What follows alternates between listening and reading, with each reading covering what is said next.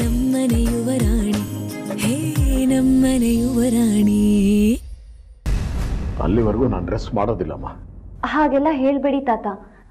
ಮೊದಲು ನೀವು ರೆಸ್ಟ್ ಮಾಡಿ. ನೀವಿವಾಗ ಅವ್ರಿಗೆ ಶಂಕರ್ ಮೂರ್ತಿ ಅವ್ರ ವಿಷಯ ಹೇಳೋದು ಒಳ್ಳೇದಲ್ಲ ಅನ್ಸುತ್ತೆ. ಯಾಕಮ್ಮ? ಯಾಕೆ ಹಾಗೆ ಹೇಳ್ತಾ ಇದೆಯಾ ಯಾಕಂದ್ರೆ ತಾತ ಪ್ಲೀಸ್ ತಪ್ಪು ತಿಳ್ಕೊಳ್ಬೇಡಿ. ನಾನು ನಿಮಗೆ ಸಜೆಷನ್ ಕೊಡುವಷ್ಟು ದೊಡ್ಡವಳಲ್ಲ ಆದರೆ ಭಾವ ಮತ್ತು ಅನಿಕೇತ್ ಅವರು ಪೊಲೀಸ್ ಸ್ಟೇಷನ್ಗೆ ಹೋಗಿರೋ ವಿಷಯ ನಿಮಗೂ ಗೊತ್ತು.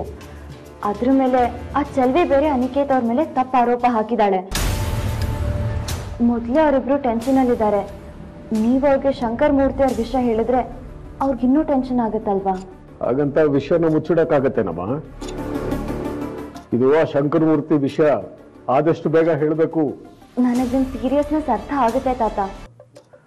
ಒಂದಾದ್ಮೇಲೆ ಒಂದು ತಲೆನೋವು ನನ್ನ ಮೊಮ್ಮಕ್ಳಿಗೆ ಆಗೋದು ಬೇಡಮ್ಮ. ಅಷ್ಟೇ ತಾತ ನಾನು ಹೇಳಿದ್ದು. ನೀವು ಆರಾಮಾಗಿ ರೆಸ್ಟ್ ಮಾಡಿ. ಬನ್ನಿ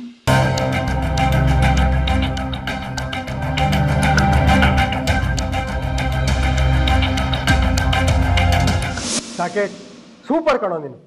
ಅವ್ಳು ಹೇಳ್ತಾ ಇರೋ ಸುಳ್ಳು ಅಂತ ಅವಳು ಬಾಯಲ್ಲೇ ಹೇಳಿಸ್ಬಿಟ್ಟೆ. ಸುಮ್ಮನೆ ಬಿಡಕ್ಕಾಗುತ್ತೆ ಅರುಣ್? ನನ್ನ ತಮ್ಮನ ಮೇಲೆ ಆರೋಪ ಮಾಡ್ತಾಳೆ ಅವಳು. ಆ ದೇವರೇ ಬಂದು ನನ್ನ ತಮ್ಮನ ವಿರುದ್ಧ ಆರೋಪ ಮಾಡಿದ್ರು ನಾನು ನಂಬಲ್ಲ ಅನ್ನೋದು ಅವಳಿಗೆ ಗೊತ್ತಿಲ್ಲ. ಆದರೆ ನನ್ನ ತಮ್ಮನ ಮೇಲೆ ಎಲ್ರಿಗೂ ಇದ್ದಿದ್ದ ಅನುಮಾನನ ನಿಮ್ಮ ಮುಂದೆನೇ ಕ್ಲಿಯರ್ ಮಾಡಬೇಕಿತ್ತು. ಅದಕ್ಕೆ ಒಂದು ಸಣ್ಣ ನಾಟಕ ಆಡಿದೆ.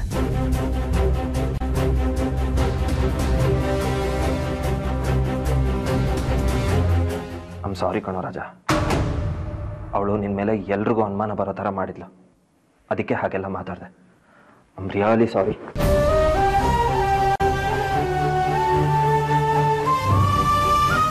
ಸಾರಿ ಕೊಳಿ ಮರಿ. ಅಲ್ಲ ಕಣೆ, ನಾನು ಯಾವತ್ತಾದ್ರೂ ನಿಮ್ಮ ಮೇಲೆ ಅನುಮಾನ ಪಡ್ತೀನ? ಅವಳು ಇನ್ನೂ ಇಂಥ ನೂರು ಪ್ರೂಫ್ ಕೊಟ್ಟು ಹೇಳಿದ್ರು ನಾನು ಇದನ್ನು ನಂಬ್ತಿರ್ಲಿಲ್ಲ. ಬಾಬಾ ಒಂದ್ ನಿಮಿಷ. ತಾತನ ರೂಮಿಗೆ ಹೋಗಬೇಡಿ. ಯಾಕೆ ನಮ್ರತ? ಅದು ತಾತ ಇವಾಗ ತಾನೇ ರೆಸ್ಟ್ ಮಾಡಕ್ಕೆ ಶುರು ಮಾಡಿದ್ರು. ಅವ್ರ ನಿದ್ದೆ ಹಾಳಾಗುತ್ತೆ ಅಂತ. ತಾತ ತುಂಬ ಟೆನ್ಷನಲ್ಲಿದ್ದರು ನಾನೇ ಅವ್ರಿಗೆ ರೆಸ್ಟ್ ಮಾಡಕ್ಕೆ ಹೇಳಿದ್ದು. ಸುಮ್ಮನೆ ಅವ್ರ ನಿದ್ದೆ ಹಾಳಾಗುತ್ತಲ್ಲ ಅಂತಷ್ಟೇ. ಹಾಗ? ಸರಿ ಬಿಡು ನಾನು ಆಮೇಲೆ ಮಾತಾಡ್ತೀನಿ.